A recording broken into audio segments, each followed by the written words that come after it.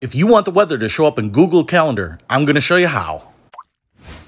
What's happening, Panda Nation? Peter Von Panda here. Hey, I use Google Calendar for just about everything, and one of the things that they used to have was a lab where it would show you the weather for that day, and it's not detailed weather, but it was kind of enough to say, hey, that's going to be a hot day, a cold day, a rainy day, a snowy day, whatever it might be, and it was really useful. And I noticed that it's been gone for a while, but I have found a workaround here that will give you some indication of the weather. Now, this is really important because, you know, if you're trying to set a golf date or plan an outdoor picnic or go on a hike or whatever it might be, again, you might not need great weather, but you might be able to say, hey, Tuesday doesn't look good, Wednesday does, and it can save you a lot of time. So that's why I find it helpful. Now, I have my Google Calendar pulled up here, and I'm going to go to this web page. And the first thing you're going to have to do, and you can follow along with me and just do it in your calendar right as we do it, is you're going to go to this website called webcal.fi, and that is W-E-B-C-A-L dot F-I webcal.fi. I'll put links to everything in the description below. Now, the easiest way I think is to go down here to this manual subscription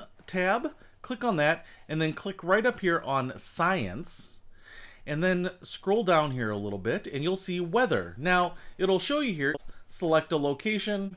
What you're gonna need is a latitude and longitude so that you can get weather that is specific to you. Now, if you click on the select a location, what it does is it brings up this map coordinates page. And what you can do here is just kind of zoom in.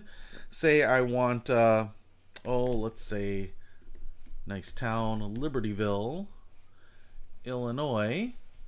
And let's say I want that. And what it does is it shows me the latitude and longitude for that town. Now, I can actually zoom in here if you really want to get specific on a location. But what I'm going to do right now is I'm going to go ahead and copy the latitude. Now go back to my WebCal page and I'm going to paste that into this box.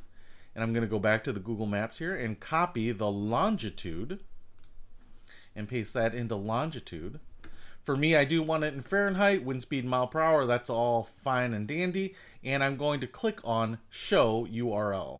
And now if you scroll all the way back to the top, you'll notice here that it's created this URL specific to that latitude and longitude. Now, you can actually do a couple things, but if I click on Add Weather to Google Calendar and you are logged into your Google Calendar account, it will automatically ask you if you want to add this calendar. So I'm just going to do that. But if you aren't logged in, you can copy that URL and go here to other calendars and hit the plus sign and add it.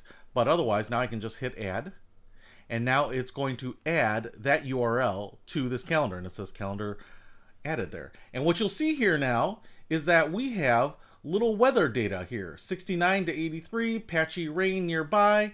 Uh, 72 to 89 patchy rain nearby. 73 to 88 74 to 88 75 to 90 so what you can see is it's heating up here. It's going to be pretty warm around here. You'll also notice that it only goes out four or five days. Uh, that varies a little bit depending on what it has in the forecast but that's usually about all that you can expect. I know some uh, weather forecast will go out 10 days. You know, they can get a little spotty. But again, this is really helpful because now you will have it in your calendar. It will help you if you are looking at events or scheduling things to kind of move them around to an ideal day or date depending on uh, if they're weather dependent. So it's that simple. It's an easy way to bring weather back into your Google Calendar. So hopefully that helps you avoid any spoiled plans due to weather. Peter Von Panda, out.